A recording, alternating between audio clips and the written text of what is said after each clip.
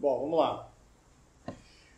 É, o último vídeo que eu coloquei no, no YouTube foi o vídeo do módulo do módulo 7, tá? que é a parte de Ethernet. E eu também liberei aquela segunda, aquele segundo exame, né? que vai até o módulo 7. E eu vou fazer o seguinte, hoje eu vou usar aula, essa aula síncrona para poder falar sobre o módulo 8, tá? que não deu tempo de gravar essa aula. Uma outra coisa, eu vou usar o, os slides em inglês, porque os slides traduzidos da Cisco eles são muito ruins. Então eu vou usar esses slides em inglês mesmo para dar menos trabalho. Tá? E é só a parte inicial teórica, depois eu vou partir para o Packet Trace. Certo? É, um outro detalhe é o seguinte: essa aula de hoje eu estou gravando, só que eu não estou gravando pelo Teams, eu estou gravando por fora, pelo OBS. Então só vai gravar a minha tela e a minha voz não vai gravar a voz de vocês. Então a gente não vai ter aquele problema de, de, de, de ter que pedir autorização. Show?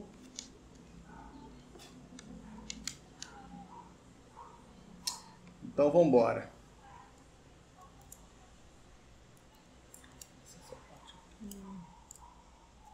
Bom, até a, a aula passada, ah, um detalhe, pessoal, eu vou. Deixa eu ver um negócio aqui, peraí.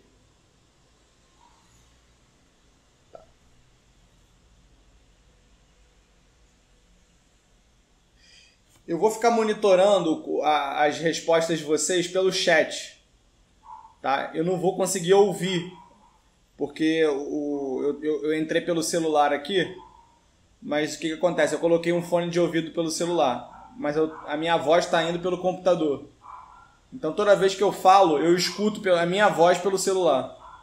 E falar, me escutando fica difícil. Então eu vou monitorar o chat aqui. Se vocês tiverem alguma dúvida, manda pelo chat, ao invés de falar. Beleza?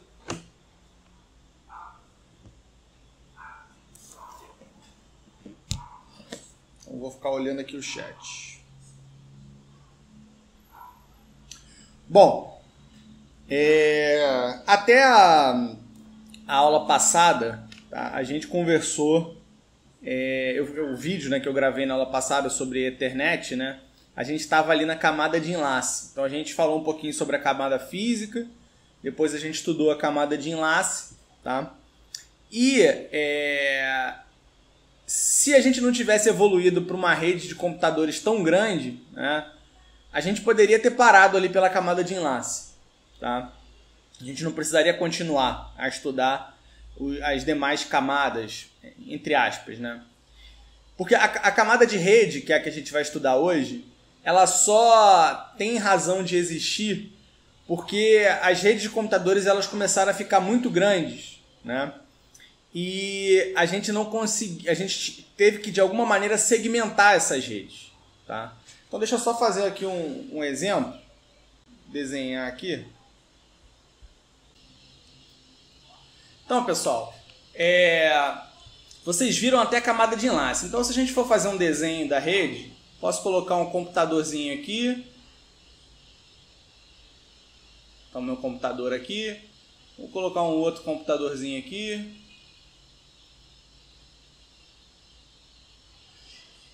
E um switch.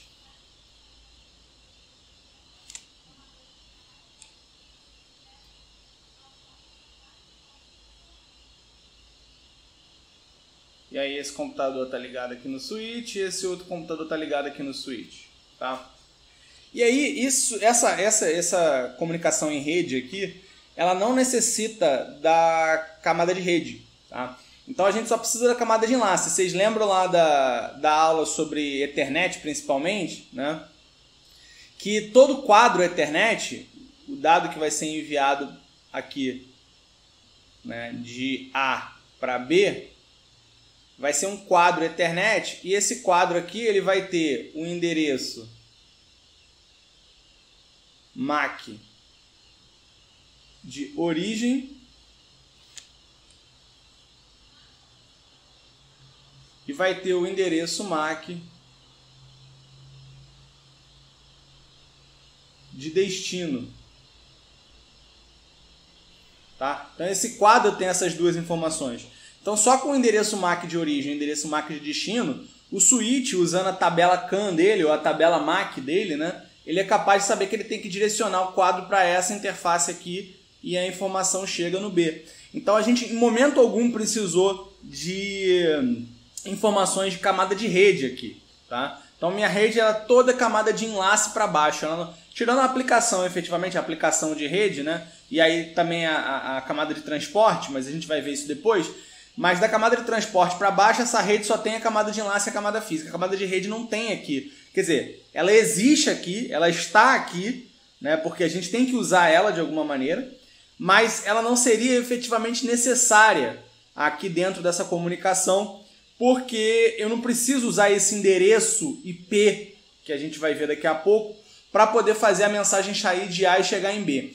O que é necessário aqui na camada de rede é simplesmente o protocolo ARP, tá? Protocolo ARP que vai permitir é, esse computador B aqui, ele vai ter um endereço IP que eu vou chamar de IP de B, né? E aí o computador A ele não sabe o endereço MAC de B, então para ele conseguir descobrir o endereço MAC de B, ele usa o protocolo ARP para perguntar na rede quem é, é, é, o cara que tem endereço IP e IP de B, qual é o endereço, o seu endereço MAC?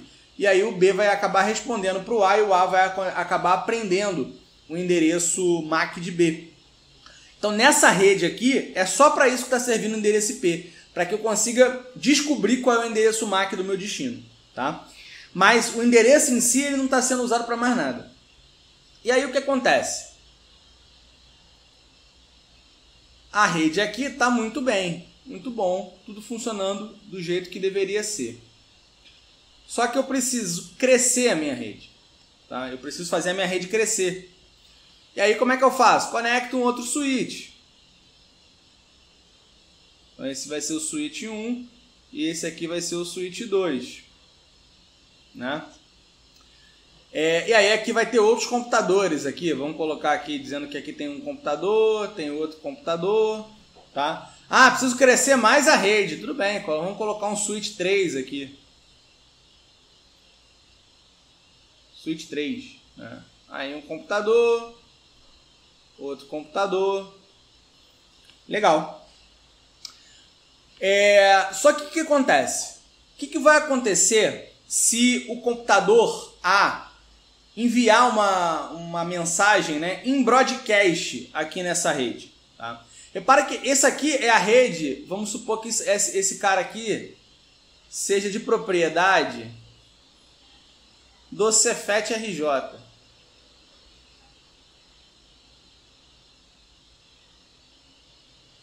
Já essa parte aqui, ó, é de propriedade da UF. E essa outra parte é de propriedade ou administração né, da UFRJ. Tá? E aí vamos supor que esse cara aqui, o A, ele vai mandar um broadcast, por exemplo, para descobrir qual é o endereço MAC do B, porque o protocolo ARP ele funciona em broadcast. Então, se o A quer descobrir qual é o MAC do B, ele vai ter que mandar uma mensagem aqui em broadcast, perguntando para a rede inteira: Ah, qual é o endereço MAC do cara que tem IP e IPB? E aí o, B responderia para ele. Então, essa mensagem ARP aqui, vou colocar ARP.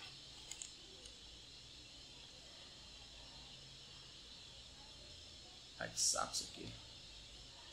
ARP. Essa mensagem ARP, ela vai ser broadcast né? O switch vai mandar para cá e o switch também vai mandar para cá. Deixa eu colocar aqui numa numa outra cor aqui para ficar menos tumultuado.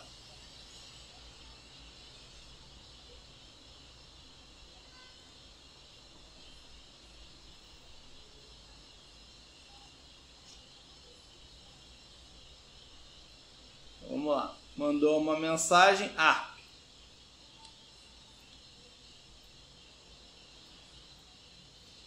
o switch vai mandar para cá.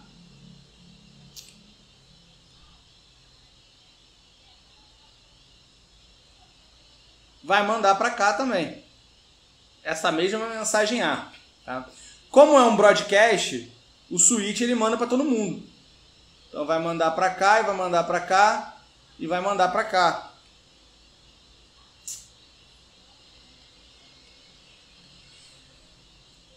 Ah, finge que aqui tem uma conexão para não ter que desenhar de novo. E vai mandar para cá.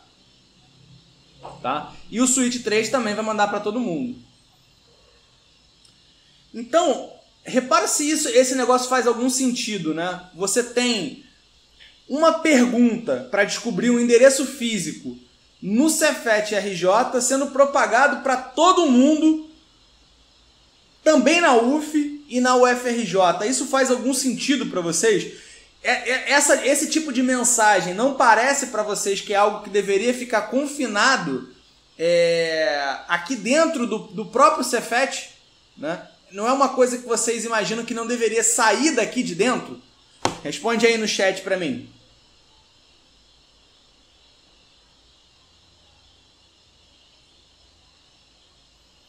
Pois é. Então, essa mensagem é uma mensagem que deveria ficar confinada aqui dentro. Ela não deveria ir para fora porque ela é uma coisa que só diz respeito aqui dentro, à rede do, do Cefet RJ, e não para outro lugar. Exatamente, vai gastar a banda das outras faculdades, sendo que é um dado que foi gerado pelo Cefet. No caso aqui, a gente está trabalhando com universidades, com, com instituições públicas, né? Mas a gente poderia muito bem substituir Cefet, UF e UFRJ por três empresas diferentes, né? E aí você estaria gastando banda de uma empresa com dados da outra empresa. Isso não faria muito sentido, né? E a gente pode ter coisas piores, né? Como eu, eu acho que quando a gente estava tendo aula presencialmente, eu inclusive comentei isso com vocês, né? É, eu já vi isso acontecer, né? Então, por exemplo, eu poderia pegar um cabo aqui, poderia pegar um cabo aqui e pegar um cabo do switch e conectar na outra porta dele, fazer esse loop aqui, tá? É, os switches mais no, os switches mais parrudos, eles não vão, esse problema não vai, não vai acontecer, tá? Porque esses switches eles rodam um protocolo chamado spanning tree, tá? E esse protocolo spanning tree ele resolve justamente esses problemas de loop no, no na, na camada de enlace, tá? É... Mas os switch mais simplesinho eles não vão ter isso. Tá? Então o que, que vai acontecer com esse switch aqui? Se eu mandar novamente o broadcast. Deixa eu mudar aqui a cor de novo.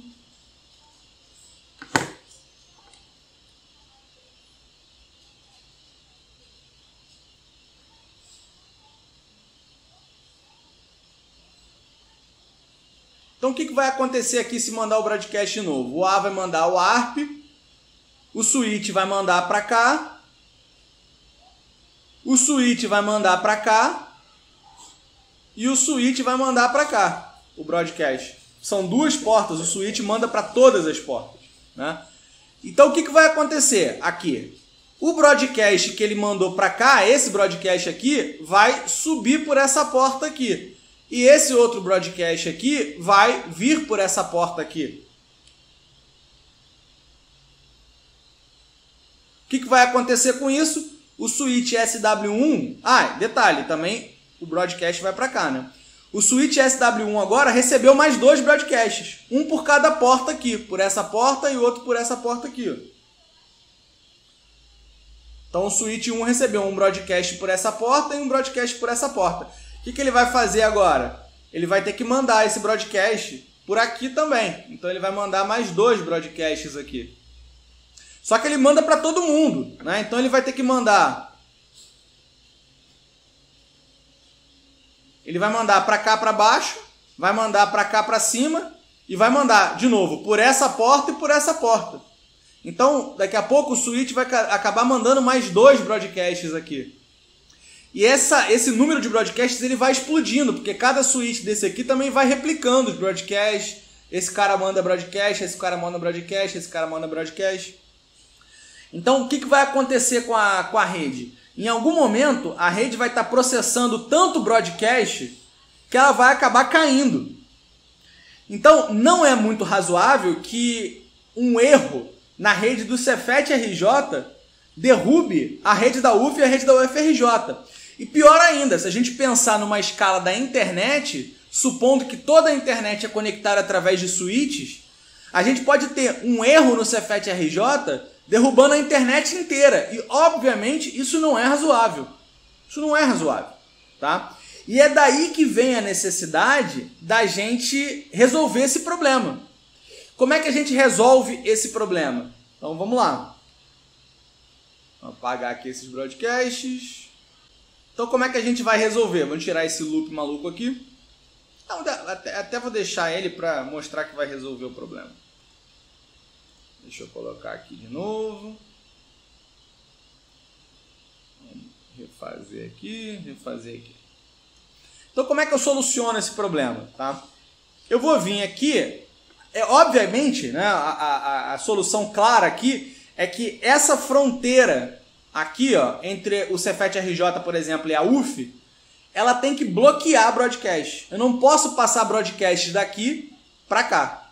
Então essa é a necessidade que eu tenho para resolver esse problema. A mesma coisa essa fronteira. Eu tenho que bloquear broadcasts vindo da UF para o UFRJ e também da UF para o Cefet RJ. Então a gente vai ter que fazer esse tipo de bloqueio. Como é que a gente vai fazer esse bloqueio? Então eu vou colocar um outro dispositivo aqui. Né? E aí eu vou conectar esse switch a esse dispositivo e esse switch a esse dispositivo. E esse dispositivo aqui é o que a gente chama de roteador. Então isso aqui é um roteador. Tá?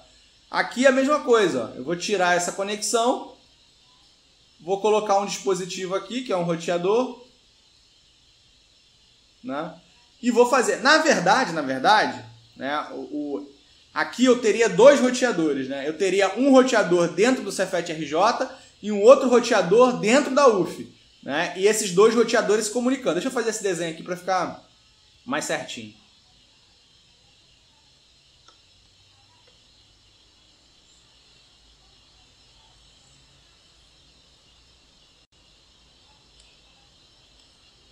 Colocar aqui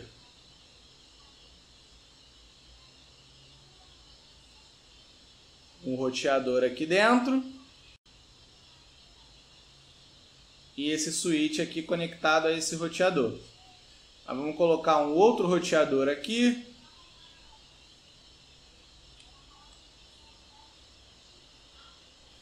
Esse switch conectado a esse roteador e esses dois roteadores conectados um no outro. Aqui vai ser a mesma ideia. Vamos colocar para cá para cima agora. Um roteador aqui Tá? Que poderia até ser esse mesmo aqui, mas enfim, vou fazer um outro. Um roteador aqui. Esse roteador conecta nesse, esse roteador conecta no switch.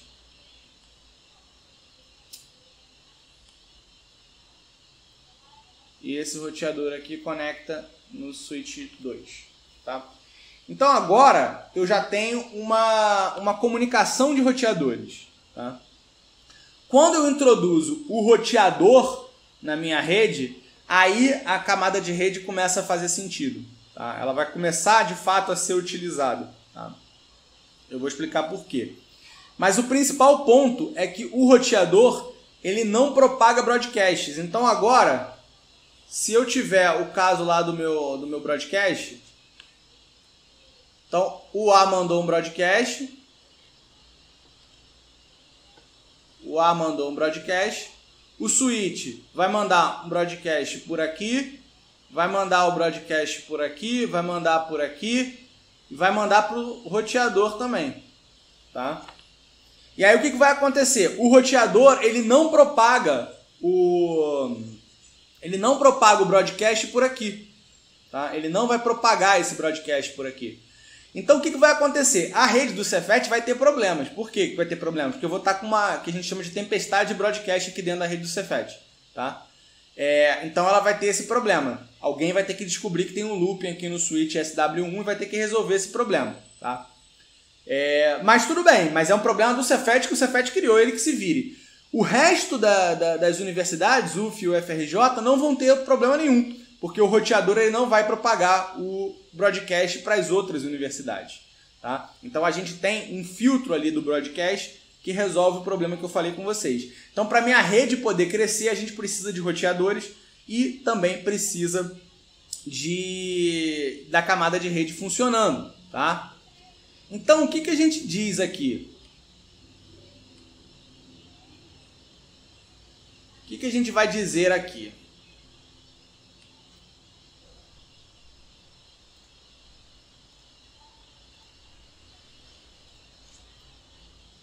Esse cara aqui estava ligado aqui, né? A gente diz o seguinte: nessa estrutura que a gente tá, tá? Cada uma dessas universidades é o que a gente chama de domínio de broadcast. Então, isso aqui, ó, é um domínio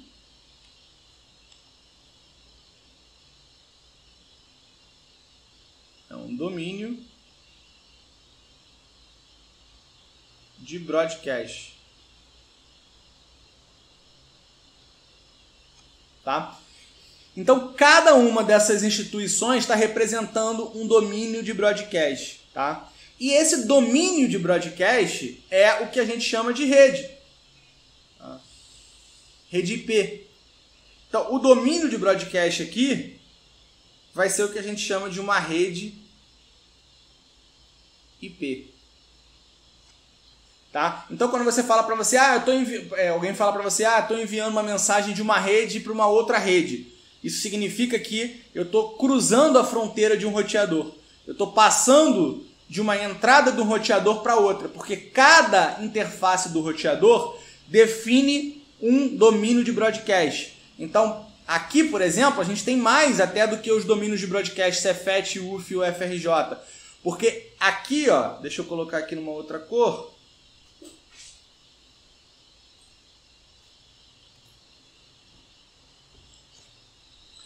essa, essa, essa comunicação desses dois roteadores aqui, ó, também forma um outro domínio de broadcast. Então é uma rede separada também, tá? É, essa comunicação aqui, ó, a mesma coisa. Também é um outro domínio de broadcast separado, tá? Então cada interface do roteador forma um domínio de broadcast com aquilo que ele está conectando, né? Se o que o roteador está conectando for um outro switch, então tudo que está conectado no switch está no mesmo domínio de broadcast. Se o roteador estiver conectando a um outro roteador, então a comunicação roteador a roteador forma um domínio de broadcast e, portanto, uma rede, tá? uma rede IP. Então, quantas redes a gente tem aqui? A gente tem essa rede aqui, a gente tem essa rede aqui, essa rede aqui, portanto, três. A gente também tem essa rede que está em azul aqui, 4, tá? A gente tem essa outra rede que está em azul aqui, 5. Então aqui a gente tem cinco redes nessa topologia de rede que eu desenhei aqui, tá? Então a gente vai ter cinco redes aqui, cinco domínios de broadcast, tá? E o que, que acontece? Uh, é necessário que você consiga identificar cada uma dessas redes, tá? Então, quando a gente pega um endereço IP, então, endereço IP, vamos pegar IPv4, tá? O endereço mais do, do IP mais antigo. Esse endereço IPv4, ele é um número de 32 bits, tá? 32 bits. Mas a gente pode dividir esses 32 bits em duas partes.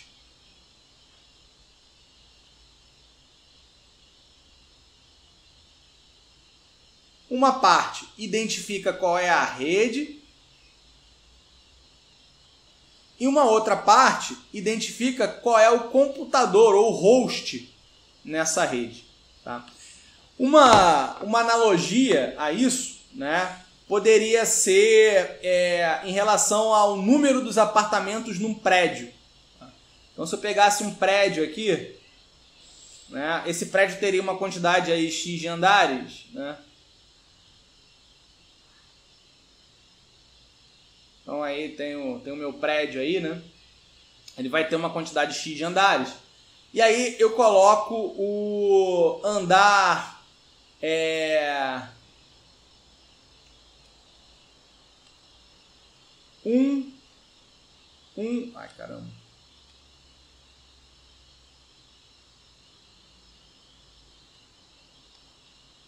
1103, tá? 1103.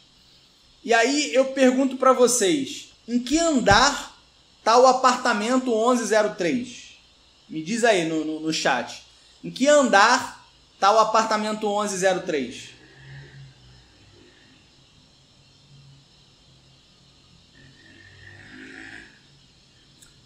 Leonardo falou décimo primeiro. Alguém discorda?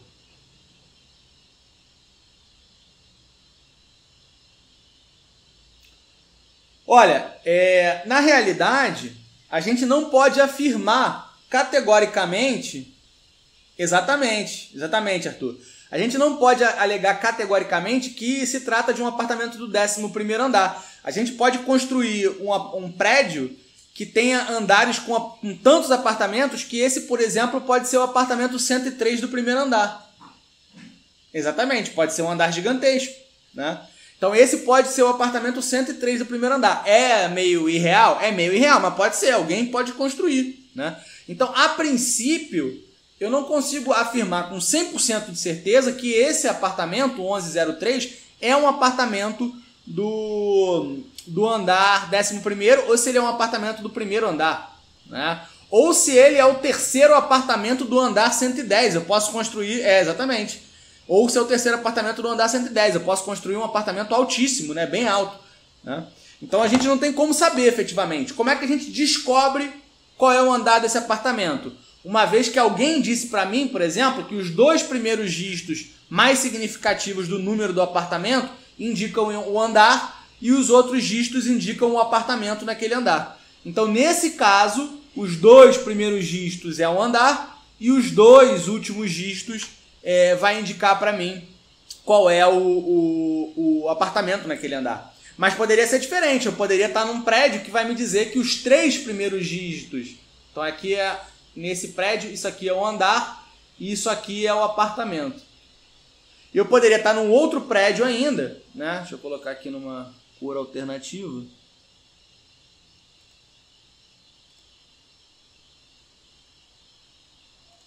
Eu poderia estar ainda num outro, é, num outro prédio que iria me dizer, não, olha, os três primeiros dígitos representam o andar e o último dígito vai representar o apartamento.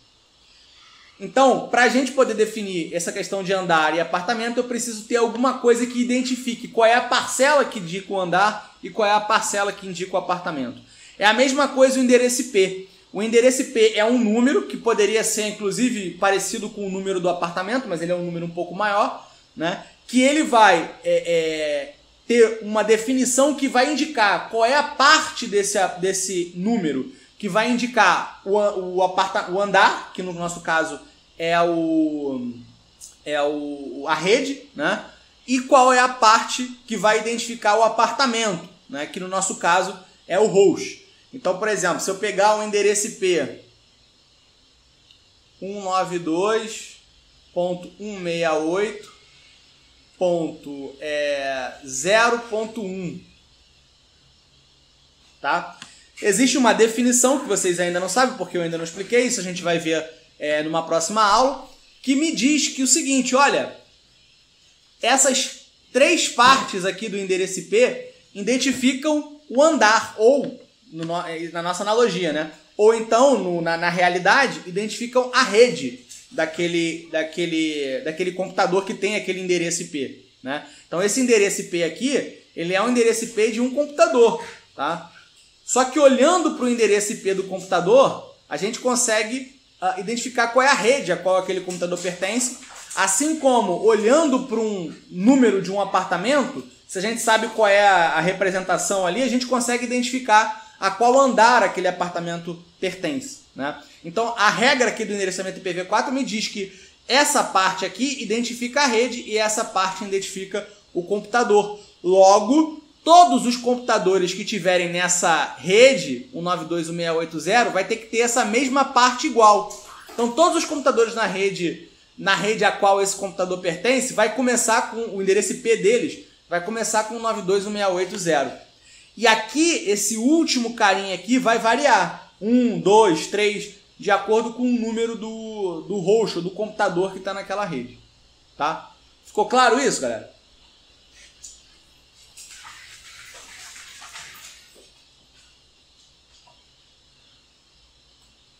Beleza, tá? Então é importante vocês entenderem isso. Quando a gente estiver falando, ah, eu estou mandando uma mensagem da rede A para a rede B, isso significa necessariamente duas coisas. A primeira coisa, a, a parte de rede do endereço IP da origem é diferente da parte de rede do endereço IP de, do destino, porque eles estão em duas redes diferentes. Isso é a primeira coisa.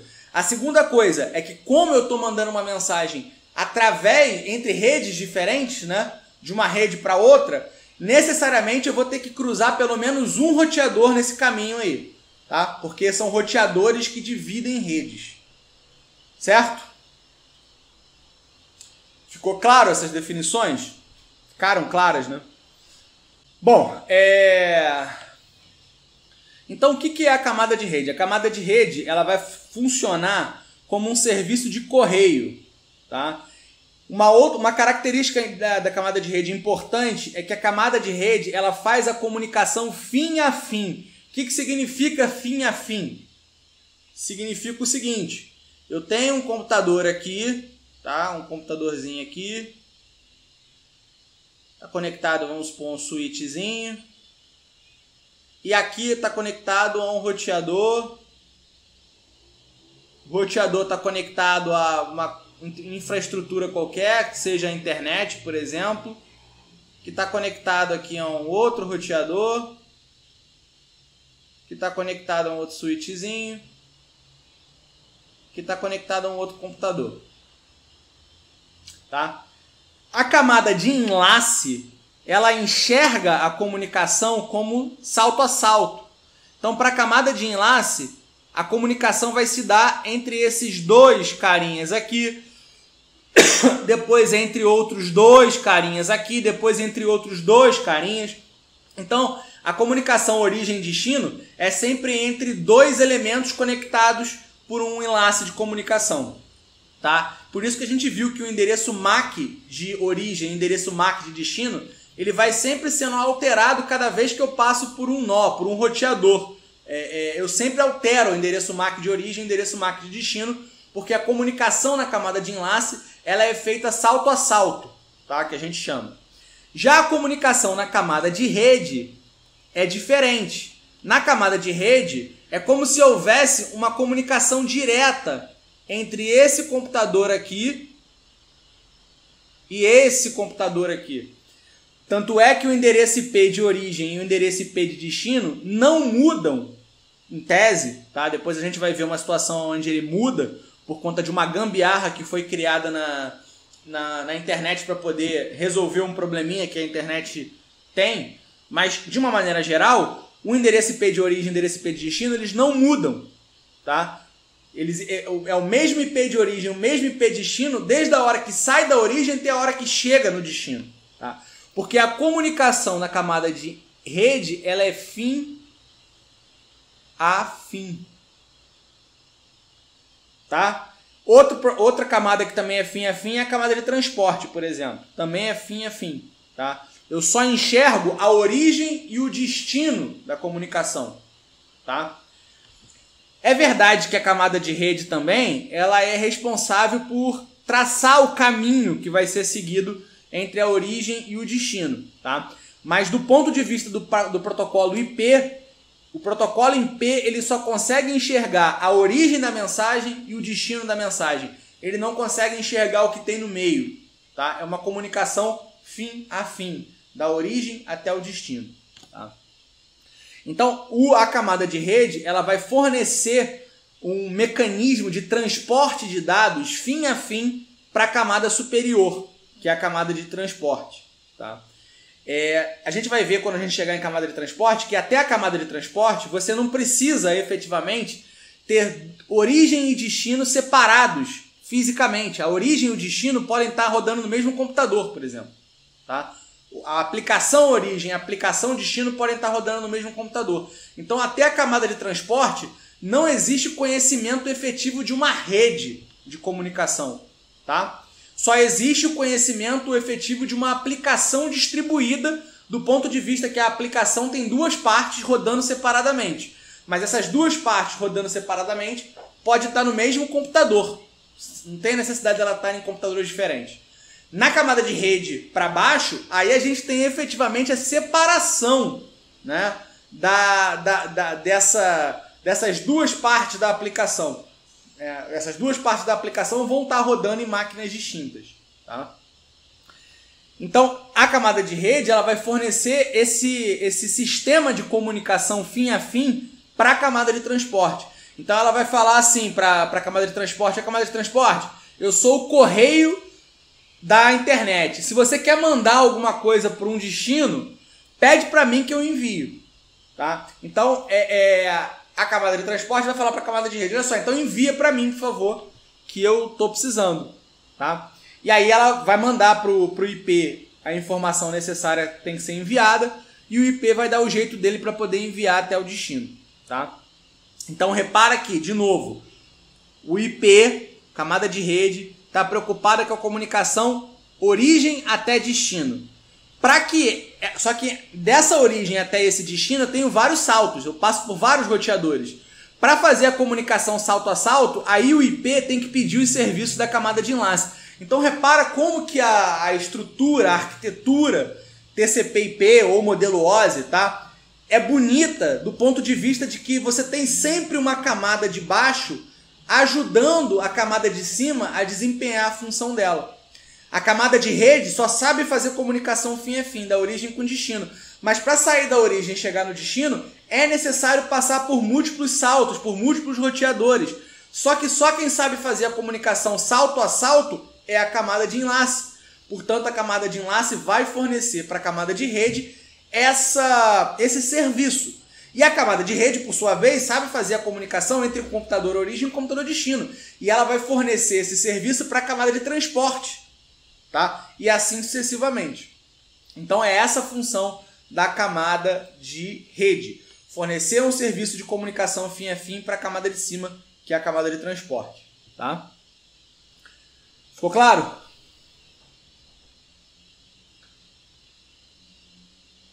Então vamos lá, como ninguém está postando dúvida, vamos seguir. Atualmente, pessoal, é, o, o, o, protocolo principal da camada de transporte, da camada de rede, tá? Antigamente existiam outros protocolos é, na camada de rede, tá? O, o Apple Talk, por exemplo, era um protocolo de camada de rede da Apple, né? Na época que você não tinha é, é, uma padronização como a gente tem hoje, cada fabricante desenvolvia os seus próprios protocolos, né? Então você tinha o Apple Talk, por exemplo, que desenvolveu o próprio protocolo de, da, da Apple na época. Né? É, mas hoje em dia, né, basicamente, a gente tem o IP como o protocolo central da camada de rede. Existem outros protocolos também que pertencem à camada de rede, mas esses protocolos, eles basicamente servem para poder ajudar o IP a fazer o trabalho dele. Tá? Então a gente tem dentro da camada de rede também protocolos de roteamento, que a gente vai ver para que, que servem daqui a pouco. Tá? É, mas eles servem para poder criar um caminho entre a origem e o destino para que o IP possa enviar o dado da origem até o destino. Então são protocolos que auxiliam o IP. Tá? A gente também tem um outro protocolo chamado ICMP, que é um protocolo que serve para enviar mensagens de status ali dentro da rede. Né? Por exemplo, se você tentar mandar uma mensagem para um destino que o roteador não sabe chegar, que não sabe, o roteador não conhece, né? é como se fosse, por exemplo, você está procurando uma determinada rua, né? E aí você procura, procura, procura e não acha, chega no posto Ipiranga, pergunta no posto Ipiranga, o posto Ipiranga não sabe te responder. Espera aí, deixa eu ver. Ah, ele, o meu computador não está plugado em fonte de energia. Está perto da metade. Não, beleza. Quando estiver chegando mais para perto, eu vou, eu vou colocar na, na, na fonte. Pode ficar tranquilo que não vai morrer, não. é, então você tá procurando a rua, procurando a rua, procurando a rua, é... e você não acha. E aí você pergunta no posto Ipiranga, e aí os caras também não sabem te responder, e você não consegue chegar na rua que você quer. E aí o que, que, que você faz? Se você tiver, por exemplo, a serviço de uma empresa, você vai mandar uma mensagem para a empresa falando: olha só, ô empresa, o destino não foi encontrado, não faço ideia de como chegar na rua que você está me pedindo. Tá? O ICMP faz isso. Uma das coisas que o ICMP faz, né? Ele vai avisar para o computador de origem quando o roteador, por exemplo, não souber enviar a mensagem para o destino. E aí você vai receber uma mensagem tipo Destination uh, Network ou Destination Host Unreachable. significando que ele está inalcançável, né? Ou a gente tem um, um, outras mensagens para outras razões também, tá? É, quando a gente usa, por exemplo, o comando ping, né, que vocês já viram em, em exercícios anteriores para testar a conectividade, o comando ping é todo baseado no protocolo ICMP, tá? Que eu vou falar mais é, numa outra aula sobre, sobre isso melhor. Mas todos esses protocolos são para dar suporte ao IP, que é o protocolo central, tá? Principal da da camada de rede. Eu vou pegar lá o, o, o a fonte de alimentação porque realmente está drenando aqui rapidinho a bateria. Já volto, peraí, só um minutinho. Pronto, voltei. Todo mundo me ouve aí? Tudo certo?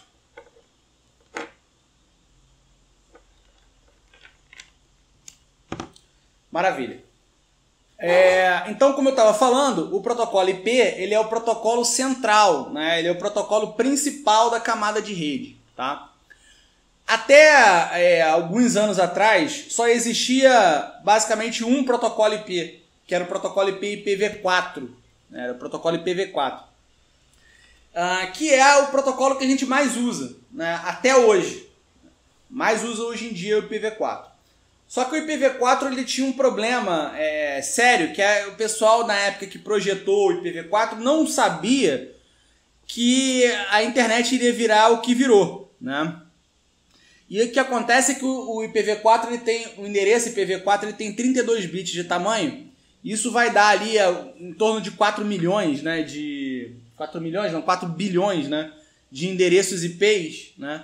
É, válidos, né? Só que, na verdade, é, alguns desses endereços IPs não podem ser atribuídos a computadores, mas de, de, qualquer maneira a gente pode pensar de uma maneira mais alto nível, de que a gente tem ali, ali uns 4 bilhões de endereços IPs, então daria para endereçar 4 bilhões de computadores. Naquela época, o pessoal imaginava que esses 4 bilhões seriam mais do que suficiente, porque não fazia sentido pensar que a gente ia precisar de mais. Né? Mas se você parar para analisar, só na China a gente tem aí por, deve ter já, já, já alcançando aí quase 2 bilhões de pessoas na China, né? Não, não sei quanto é que está a população da China agora, mas deve estar tá perto disso, né? Um bilhão e meio, alguma coisa assim, né? Então só na China se cada pessoa da China tivesse um computador só, né, a gente já estaria ali quase na metade dos endereços IPs é, disponíveis, né? Fora que eu não tenho só endereço eu não tenho que colocar endereço IP só em computador, eu tenho que colocar endereço IP em roteador, eu tenho que colocar endereço IP em um conjunto de equipamentos, né? Fora os equipamentos é, como celular é, e hoje em dia migrando para a internet das coisas, como TV, é, até a geladeira e, e assim é, sucessivamente. Então fica claro que esses, esse endereçamento em algum momento não ia ser mais suficiente. Né? Então o pessoal percebeu isso lá atrás e já começou a desenvolver o projeto do novo IP. Né? É, te, teve um IP que ia ser o IPv5, talvez, mas aí esse IPv5 ele não deu certo e acabou tendo o, o, virando o IPv6. O IPv6 foi o que vingou, né? que é o endereço, o, o protocolo IP atual que a gente tem, aonde os endereços IPs eles deixam de ser de 32 bits e passam a ser de 128 bits. Né? E aí uma comparação, uma analogia que o pessoal gosta de fazer é de que agora a gente vai ter com o endereço IPv6 endereço suficiente para colocar o endereço IP em cada grão de areia que existe na Terra. Né? Então a gente supõe que é, a gente vai conseguir endereçar basicamente é, todo e, e, qualquer dispositivo que a gente necessite. Né? E acabou que o IPv6, é, as pessoas têm muita dificuldade de migrar para o que é novo, né? E aí, por conta disso, a gente ainda tem muito do IPv4 rodando hoje em dia.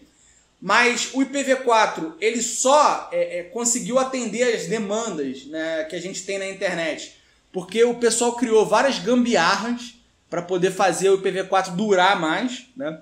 E essas gambiarras elas atrapalham a comunicação. Por exemplo, eu falei para vocês que o IP é comunicação fim a fim, né? É, então, teoricamente, o endereço IP de origem e destino que você coloca no pacote na origem é o mesmo endereço IP de origem e destino no pacote que você coloca no destino. Mas por conta dessa gambiarra que foi feita na internet, que é o NAT, é, isso mudou essa comunicação fim a fim ela foi quebrada, porque você tem um servidor NAT ali que vai fazer traduções de endereços. tá? Provavelmente o endereço IP que está conectado aí no seu, no seu computador, né, que está associado ao seu computador, não é um endereço IP que eu possa enviar mensagens usando ele, porque provavelmente ele é um endereço IP privado. Isso foi usar, criado junto com o NAT justamente para salvar endereço IP. A gente vai estudar como é que isso funciona depois, tá? Então o IPv6 está aí para resolver esses problemas que, que o IPv4 deixou. Tá? É, a camada de rede ela vai realizar né, essas quatro operações básicas: endereçamento de dispositivos finais, né, é, encapsulamento, que é pegar o segmento da camada de transporte e colocar dentro de um pacote IP, roteamento, tá? que também é uma função não do protocolo IP, mas dos protocolos de roteamento, satélites ali que ficam orbitando o IP, é, e também o processo de desencapsulamento, né? que significa saber para quem entregar aquele, a gente normalmente chama de payload, né? que é a carga, que é o dado que está sendo carregado no pacote IP. Para quem que eu entrego esse pacote? Para o TCP, para o UDP, para quem? Né? Isso é desencapsulamento. Tá? Bom, processo de encapsulamento IP, a figurinha aqui é, mostra pra gente aqui o processo de encapsulamento. A gente vai pegar o segmento né, do, do, do da camada de transporte é, e vai colocar isso na, na parte de dados aqui do pacote e aqui a gente vai ter o cabeçalho IP. Né? É, IP pode usar tanto IPv4, o pacote IPv4 ou IPv6 e é, não faz, isso não faz diferença para a camada de transporte. Então a camada de transporte ela está alheia a qual é o protocolo que você está usando, se você está usando IPv4 ou IPv6. Tá? É, na verdade, isso vai depender da, da aplicação que você está usando, né? De, da stack, da pilha de protocolos que o sistema operacional uh, tem instalado lá. Mas do ponto de vista da camada de transporte, não interessa se você vai usar o IPv4 ou o IPv6 para fazer a comunicação. Para a camada de transporte, isso é irrelevante. É... O pacote IP ele vai ser analisado por todos os dispositivos da camada de rede, né, que, pelo qual esse pacote atravessa, que basicamente são roteadores, tá? É, mas também pode existir, podem existir ali alguns dispositivos adicionais ali, que, por exemplo, o os é, pontos de acesso, né? E também o, os switches de camada 3, tá? Mas, em geral, vão ser roteadores, tá? O endereço, AP, o endereço IP não muda da origem até o destino, isso em tese, e essa nota que está aí no slide está dizendo justamente essa observação que eu falei para vocês. Né? Com a utilização do NAT, que é essa gambiarra que eu estava comentando com vocês, a gente tem essa mudança do endereçamento IP para poder fazer uma tradução de um endereço privado para um endereço público, que a gente vai ver em uma outra aula. Bom, três características do, do protocolo IP. Primeiro, é um protocolo não orientado à conexão. Segundo, é um protocolo de melhor esforço. Terceiro, é independente da mídia que está sendo utilizado. Tá? O que, que significa ser um protocolo connectionless ou protocolo sem conexão? Tá? É, um protocolo, para falar o que é um protocolo sem conexão, é interessante falar primeiro o que é um protocolo com conexão. Tá? Um protocolo com conexão é um protocolo que troca mensagens de controle para estabelecer uma sessão de comunicação antes de enviar os dados que a aplicação está querendo enviar. Então, por exemplo, é como se você, é, antes de ir para o restaurante, você ligasse para o restaurante para poder reservar uma mesa. Então você está estabelecendo uma conexão com o restaurante antes de enviar dados para ele, tá? E um protocolo não orientado à conexão é um protocolo que não faz isso. É um protocolo que ele não envia sinais de controle, não estabelece uma conexão a priori antes de enviar os dados que, tá, que tem que ser enviados. Então é como se fosse um restaurante que não tem reserva. Né? Você simplesmente vai no restaurante, você não liga para ele antes. Se você quer ir pro Outback, por exemplo, você não liga para o Outback para reservar uma mesa porque eles não reservam mesa. Você simplesmente levanta e vai. Né? Pode encontrar uma fila lá e tal, mas enfim, faz parte da vida. Tá? Então o IP ele é connectionless, ou seja, ele não estabelece uma conexão antes de enviar os dados. Ele simplesmente envia o pacote. Ele não espera que o destino responda para ele se recebeu. ele não espera absolutamente nada. Tá? O que é diferente, por exemplo, do protocolo TCP. O protocolo TCP da camada de transporte, antes dele enviar dados, ele tem que estabelecer uma conexão com o protocolo da camada de transporte do destino. Então ele troca um conjunto de dados de controle para estabelecer essa conexão. Tá? Já o IP não faz nada disso. Pelo fato do protocolo IP não fazer nada disso, não ser um protocolo orientado à conexão, ele também é um protocolo de melhor esforço. Tá? O que, que significa um protocolo de melhor esforço? Melhor esforço parece uma coisa muito boa, né? Parece que alguém vai se esforçar ao máximo para fazer o negócio, né? para fazer o que você está pedindo. E de fato a ideia é essa. O IP ele vai se esforçar ao máximo para fazer o que você está pedindo para ele, que é enviar o pacote da origem até o destino. Mas esse se esforçar ao máximo significa que ele não te dá garantia nenhuma. Ele só fala: olha, vou fazer uma melhor, vou me esforçar ao máximo para poder mandar o teu pacotinho. Mas pode ser que ele não chegue no destino. Por que, que pode ser que ele não chegue? Porque a gente pode ter problemas de congestionamento na rede. Né? E aí os pacotes eles podem ser descartados nas filas dos roteadores. Tá? Depois eu falo mais sobre isso também. É, mas eu posso perder pacotes. Uma outra coisa que pode acontecer é que dois pacotes diferentes que estão transportando dados da mesma aplicação né, podem seguir caminhos diferentes na rede. Então, por exemplo, o pacotinho 1 pode seguir por esse caminho aqui e chegar aqui. E o pacotinho 2 pode acabar seguindo por esse caminho aqui e chegar aqui também. Mas pode ser que o caminho 2, é, o caminho 1 é, é, um, seja mais lento do que o caminho 2. E o que, vai acontecer com isso? O pacotinho que está levando o segmento 2 da aplicação vai chegar antes do pacotinho que está levando o segmento 1. Um. Quando esses dados tiverem que ser remontados aqui no destino para poder enviar para a aplicação, eles vão ser remontados na ordem errada. E a informação que vai ser enviada para a camada de aplicação está errada. Tá? O protocolo IP ele não garante que você vai entregar na ordem certa. Pode ser que entregue na ordem errada. E se entregar na ordem errada, meu amigo, ninguém. Só, só se um protocolo da camada de cima conseguir identificar esse problema.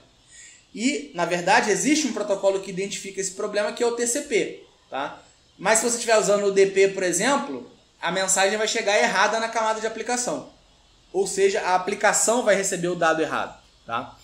Então, o é, protocolo IP, ele é um protocolo de melhor esforço, ele não garante nada, ele não garante que vai entregar com velocidade, ele não garante nem que vai entregar. Então ele é um protocolo que só fala, olha, vou tentar, se chegar, chegou, se não chegar, só lamento. Tá? Então ele funciona mais ou menos em muitas, em muitas situações né, como o sistema de correios que a gente tem. Né?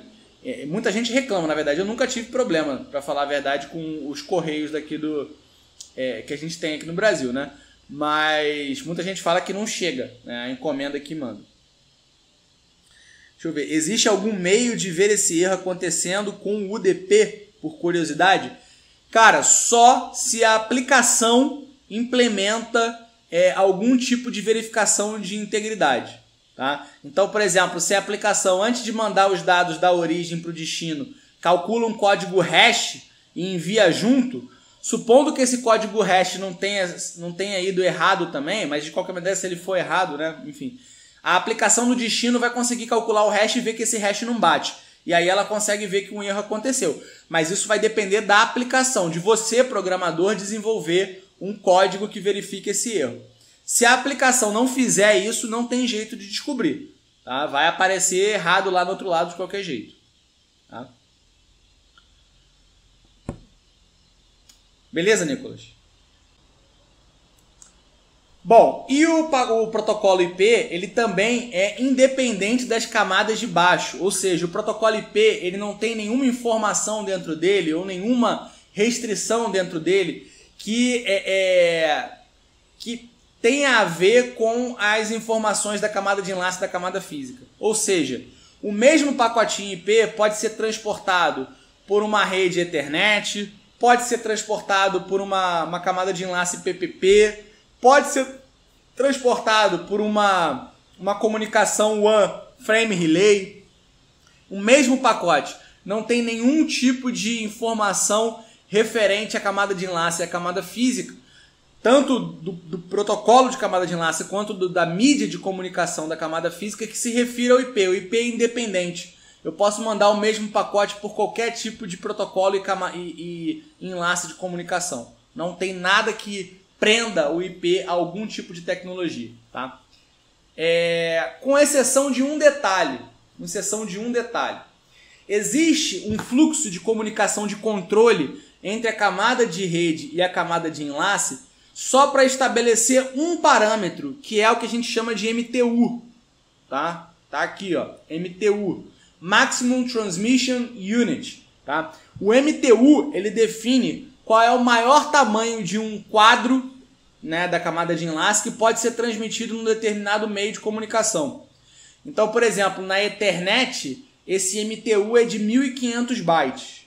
Se você gerar um pacote que passe somando o cabeçalho lá da camada de, de, de enlace, né, passe dos 1500 bytes, o que a gente vai ter que fazer é pegar esse pacote IP e dividir ele em pedaços, que é o que a gente chama de fragmentação. Então a gente tem que pegar o IP e fragmentar ele em pedaços para conseguir transmitir pelo aquele enlace de comunicação cujo MTU é menor do que o tamanho do pacote que você está querendo transmitir, ou seja, do tamanho do pacote somado com o cabeçalho e com e com o trailer lá da, do, do, quadro da camada de enlace. É, é, importante notar que esse processo de fragmentação ele é um processo que só acontece no IPv4. O IPv6 não fragmenta, ele não tem essa, essa capacidade de fragmentação, tá? O que é uma vantagem, porque IPv, essa fragmentação do IPv4 pode gerar alguns tipos de atrasos, tá? E o IPv6 resolveu é, eliminar, de certa forma, esse problema é, no protocolo.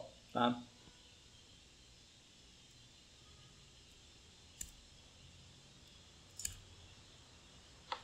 Bom, pacote PV4, tá? o cabeçalho do pacote PV4. É... Então, então o, o cabeçalho, o cabeçalho da camada de rede tem vários propósitos, né? Ele vai garantir que o pacote vai ser enviado para o destino correto, para fazer isso, ele vai ter que ter um endereço IP de destino ali dentro dele. Ele vai conter informação é, para a camada de, de, rede conseguir processar é, os vários campos que tem ali dentro do, do, do pacote. Né? É, ele vai ter informação ali no cabeçalho que vai ser usada para poder fazer o desencapsulamento, ou, se, ou a gente também chama de demultiplexação, que é pegar o dado que está sendo transportado pelo pacote IP e transferir ele para o protocolo adequado da camada de transporte. Bom, os campos aí do, do, do pacote é, IPv4, tá? Então o pacote IPv4 ele tem linhas de 4 bytes. Então a gente lê sempre da esquerda para a direita. Isso, vai, isso é tudo em binário, tá? Isso vai ser tudo em binário. É... Espera aí, só um minutinho.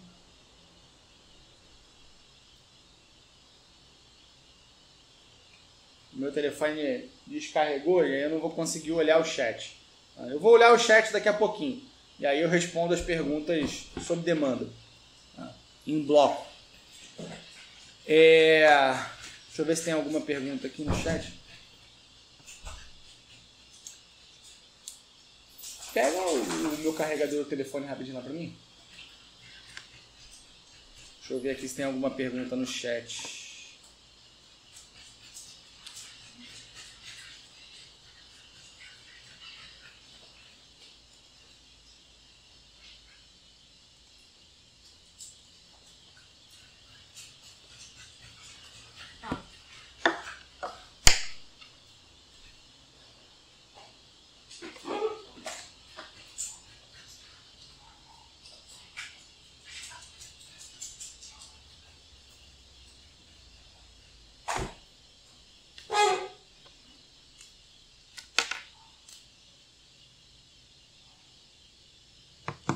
Bom, deixa eu ver aqui chat.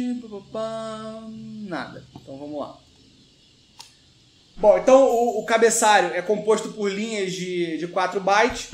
São números binários tá, que aparecem aqui, só que são definidos aqui. Por exemplo, aqui eu tenho um, uma determinada quantidade de bits, né? que vai representar a versão do endereço IP. Aqui eu vou ter uma determinada quantidade de bits. É, aparece aqui são é, 4 bits aqui para cada lado, né, para dar um byte. Então 4 bits para a versão, 4 bits para o tamanho do, do header aqui, né, o tamanho aqui do, do cabeçalho IP, né.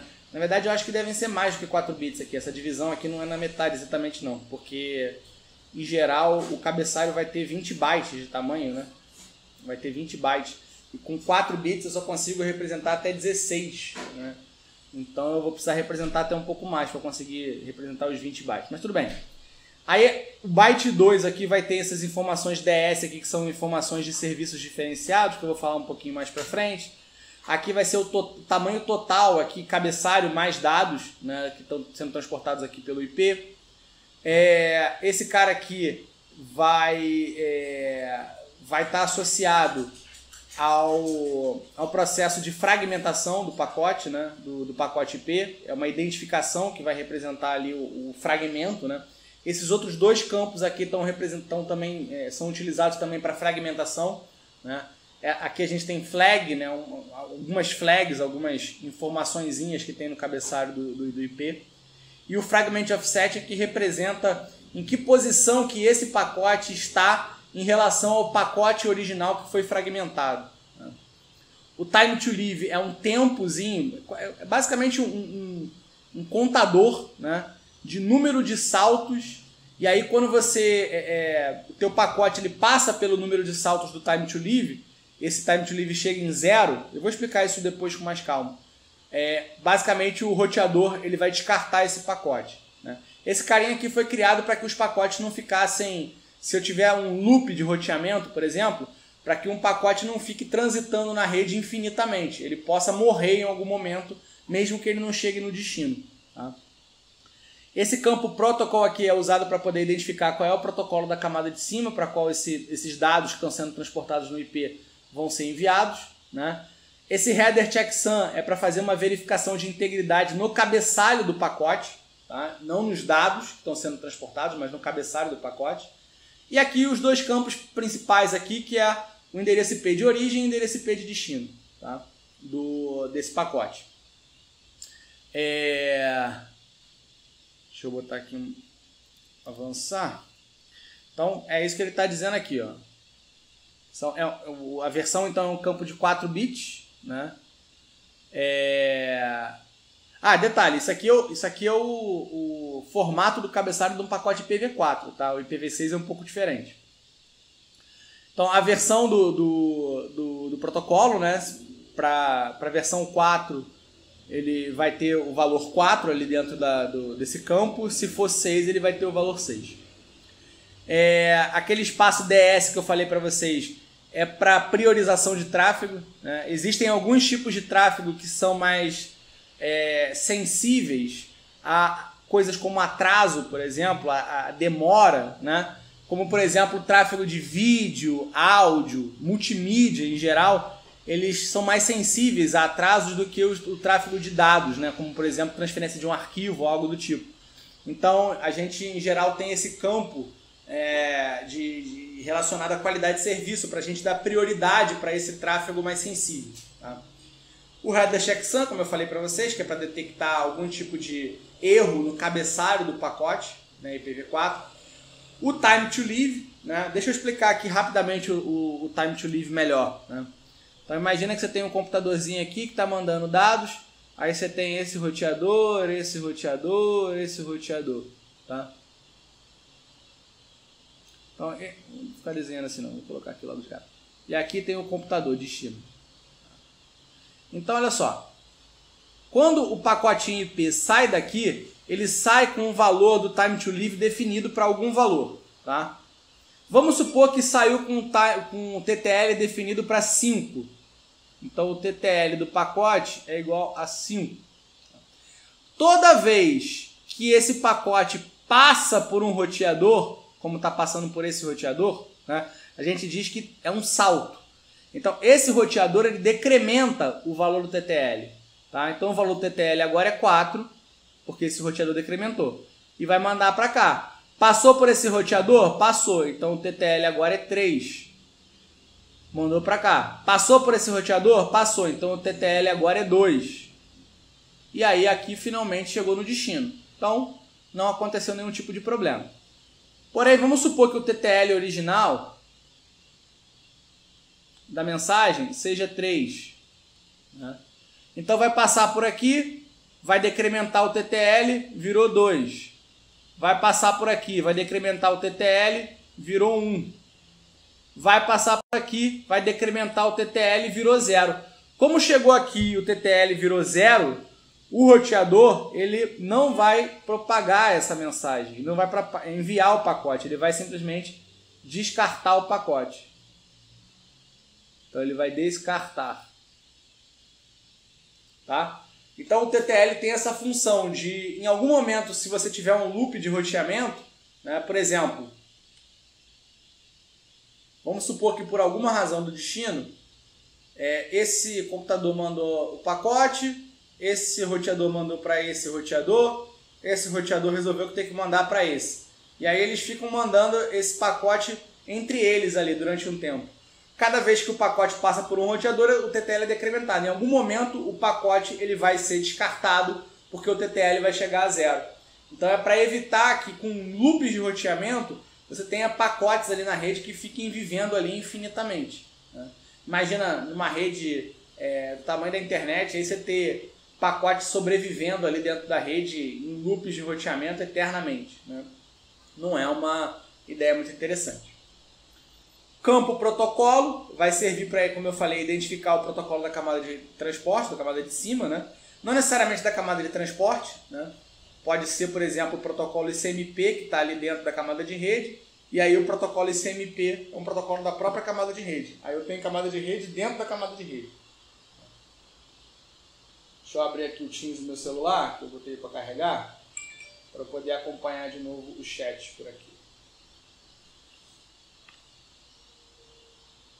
Beleza, vamos lá. Já tem uma pergunta aqui. TTL, isso não pode ser prejudicial em redes largas? Há uma nova tentativa com TTL maior? É, não. Existe uma, uma ideia razoável do número de saltos que você vai passar até chegar no destino, tá? Muito difícil você conseguir passar de 10 saltos até chegar no destino, por 10 roteadores. Tá? Em geral, você vai passar por menos. Se a gente pegar um site no Japão, por exemplo, a gente pode tentar, poderia até tentar olhar quantos saltos é, eu vou dar até chegar lá no destino usando o trace route. Tá? Depois eu posso tentar fazer, esse, tentar fazer esse experimento. Mas dificilmente vai dar. Se você estiver muito, muito estranho, vai dar 20, 30 saltos, já é um absurdo. Tá? E normalmente esse TTL é marcado para 250, por exemplo. Então é praticamente impossível você ter 250 saltos na rede. Tá? A não ser que você tenha um loop de roteamento. Aí você vai ter 250 saltos. Mas 250 saltos num caminho legítimo de uma origem até o destino é muito pouco provável de acontecer. Então a gente usa de fato um TTL bem grande para evitar de, do pacote ser descartado no meio do caminho, mas ainda assim ele é uma salvaguarda, porque se entrar em loop, ele vai acabar descartando esse pacote, porque aí eu vou ter um número de, de, de saltos muito grande. Tá? Beleza. Bom, endereço IP de origem, endereço IP de destino são dois valores aí com tamanho de 32 bits. É, lá no material da, do, do curso, né, no Net Academy, tem um videozinho que eu sugiro que vocês assistam, porque ele mostra uma análise né, do, do cabeçalho do IPv4 usando o Wireshark. Então, vocês vão ver lá no, no, na realidade né, o cabeçalho do IPv4, como é, que, como é que ele é, como é que é o formato dele. Tá? Então, dá uma olhadinha nesse vídeo. O vídeo está em inglês, mas tem legenda em português. Só você configurar lá a legenda. Pacotes IPv6. Tá? Então, como eu falei para vocês, o IPv6 ele foi desenvolvido para tentar solucionar é, problemas né, relacionados ao IPv4. O principal problema era a limitação do número de endereços IP disponíveis. Né? Inclusive, hoje a gente já não tem mais endereços IPs é, se você montar uma, uma empresa hoje, por exemplo, né, provavelmente você não vai conseguir adquirir um bloco de endereços IPv4, tá? Porque não tem mais disponível, acabou. Né? Pelo menos a, a IANA não tem mais. Então, você não vai conseguir mais adquirir esse bloco de endereços IPv4. Então, para lidar com esse, com essa, esse esgotamento né, do, de endereços IPv4, o pessoal foi desenvolver o IPv6. Mas não só para isso, tá? Para outras coisas também. Como eu falei, o IPv4 tem fragmentação. O pessoal percebeu no IPv6 que não era uma boa ideia fazer isso. É, o IPv4 foi desenvolvido numa época onde as pessoas não se preocupavam com segurança. Né? O IPv6 já é, já é um protocolo desenvolvido numa época pós-internet, então as pessoas já conheciam os riscos de segurança. Então o, o IPv6 ele tem uma, ele, ele consegue ser utilizado de uma maneira mais simples, é, em conjunto com o IPsec, que é um protocolo de segurança é, no, no, relacionado ao IP. Né? É, então ele já tem ali várias características de segurança associadas a ele. Então ele é uma evolução realmente em relação ao endereçamento IPv4, tá? É, e no mundo de IoT, Internet das Coisas, é fundamental, tá? Porque cada dispositivo IoT no mundo precisa de um endereço IP unicamente, é, globalmente exclusivo.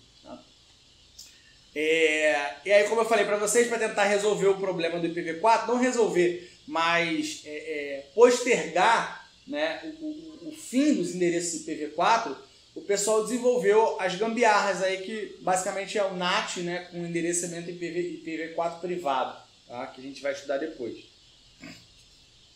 Então, baseado nessas limitações, foi desenvolvido o endereço, é, o, o, o protocolo IPv6. Tá? IPv6 não precisa mais de NAT, né, o que é uma maravilha. Vocês terem uma ideia, o NAT é o seguinte, existem alguns endereços IPs que são privados, tá? que, que significa ser privado? Significa que você não pode é, usar esse endereço privado como endereço IP de destino entre redes. Então eu não posso, por exemplo, colocar o endereço entre redes que vão passar pela internet. Né? Entre redes que são administradas por você, pode. É, mas significa que ele não é roteável na internet porque não há garantia de que um computador que use um endereço IP privado é, tenha um endereço IP globalmente único, porque dois computadores em redes diferentes podem usar o mesmo endereço IP privado. Por exemplo, o meu computador aqui, o meu é, roteador, ele usa o endereço, o endereço privado 92.168.00. Não, 92.168.01 é o endereço privado que ele usa. Tá?